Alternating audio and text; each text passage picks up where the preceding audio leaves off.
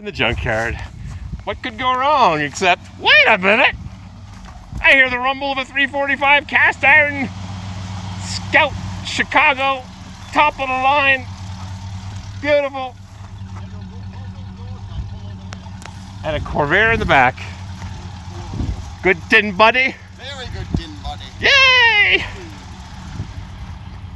Wow. He was just leaving the junkyard to head back east to Maine. I said, no, no, no, Billy, Billy, Billy, Billy, don't leave me here. I'm going to tootle on back at 50 miles an hour. My steering is still shaking. I got to change the ball joint. He was here two days before me. He gets a head start. Ooh, watch that big fender. Look at that beautiful Corvair. It's a 1961 Lakewood station wagon with four brand new tires. Yep, brand new, even have the stickies on them. Yep. Billy, it has a broken window. It's junk.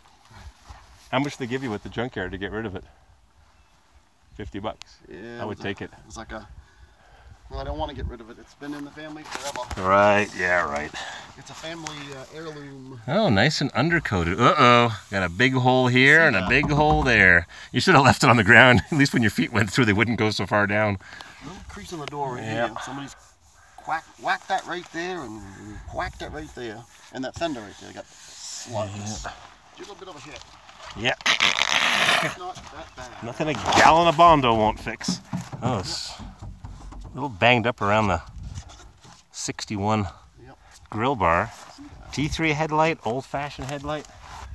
That's a weird spot. There's somebody tried to get into it with a key. Uh, Some, some animal tried to not a key with a hammer and a screwdriver.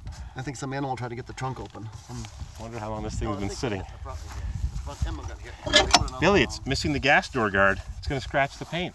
I got a locked gas cap. I Nope. Not. Oh, Nope. good. Hate things that are locked. How's the gas smell? Probably ancient. Probably still good.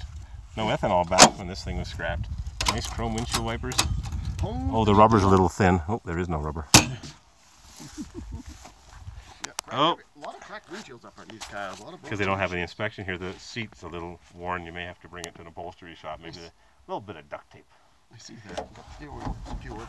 Yep. You follow me pretty much where I'm going. Manual choke 1961 rubber floor mats. Yep. Automatic transmission, Billy, your favorite. No rowing. One, two, Three, three. four. Trying to find reverse. Waste of time. Oh, I like the mirror. My 67 Parisienne had a mirror like that, Yeah, right from, from Canadian something. Tire. Junk. It's not Corvair, but it's That's for sure. else. You see the cars at the car show sometimes, they're $50,000 cars and they got these $3 mirrors. You're gonna help me uh, hook up those chains. I don't know how to do those chains underneath. Wrap around the axles maybe, or Just wrap it around the whole control arm. It's important in case these straps break or Oh, you, you wipe out going into a ditch, at least you won't dump it. very very solid underneath. This thing is just those two floor holes. Yeah. This, this had a this had a factory undercoat too. Yeah. The whole thing's undercoated for probably Yeah. cost ten dollars back in '61. I w- used to work at a big Chevy dealership back in 81 and I used to undercoat vehicles for 150 bucks. And the guy just was just paying, getting paid $3 an hour. He was just spraying stuff. He didn't care where it went. And I saw a guy, one of my tenants recently bought an F-150 and they rust proofed it for $400 and it was peeling off after one year in sheets, just peeling off. And I said, they missed, they missed the spot where it rusts on the lip. They didn't even get the spot where it's gonna rust. He says, oh, it was only 400 bucks. I said, well, when you're paying $35,000 for a truck, what's another 400 bucks down the drain? What a waste of money. What a waste of money. I'll help you hook these up. How's your? Uh... They gotta hook them up. Oh, you got almost as much stuff in your I know. lower shrouds as I do. In the engine, it's all plugged up. Oh, look at that nice tailpipe. Wow. I know, no muffler. It's a straight pipe. we don't need no steak and muffler. Must have been a, a young boy must have had it. Yeah. Probably felt tough in his automatic wagon. Yeah, even got the original grill. Yes. No trailer. Trailer. I don't see no place for Oh, maybe they had it. Uh, they used to just use a hookup to. I don't know. burglarize, burglarize or something. Maybe for burglars. Alarm. Got the original truck engine or the station wagon. Yep. Well, you have no, to use the key to open the wagons. There's no little button. No, there's no provisions for a trailer hitch. I don't know what that is for. That little wiring thing. Generator, and it's got. Oh, it's got a side cooler.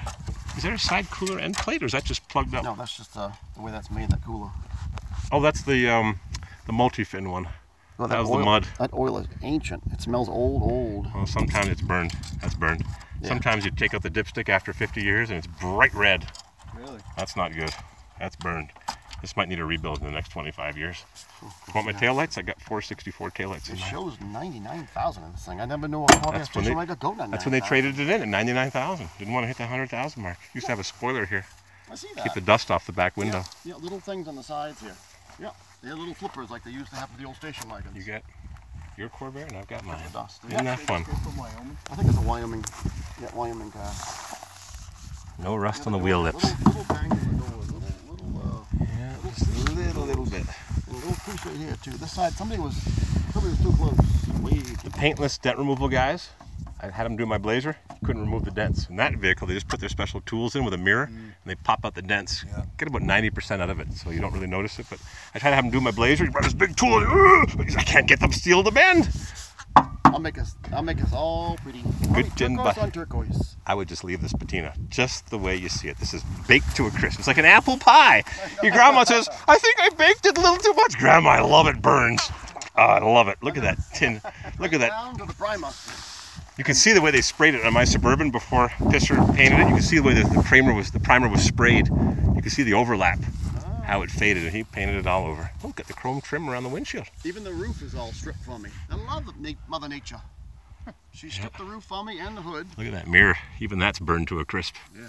Tinted windshield. The windshield has been sitting there for 20 years. Yeah, tinted windshield. Too bad. Yeah, smash. I have none. Just I have three or four clear ones and no tinted. Too bad. You never find a tinted windshield on a wagon ever. Because it's taller, the roof line's taller. Yeah. Never find a, never find a tinted windshield. I'm glad you pulled in here so we get a nice family shot. A Scout pulling a Lakewood and a BMW V12 pulling a Monza. Nobody would ever believe it. Two junkyard dudes. Yeah, junkyard idiots. Totally. Yeah, two unproven cars. BMW that I just bought because I had to have a V12 BMW and a Corvair that I had to have because a friend of mine, a former long time ago customer, wanted it. So I hope he buys it because I got enough toys to play with. Let him enjoy it. I'll never get to it. Oh, this is crazy. At the junkyard.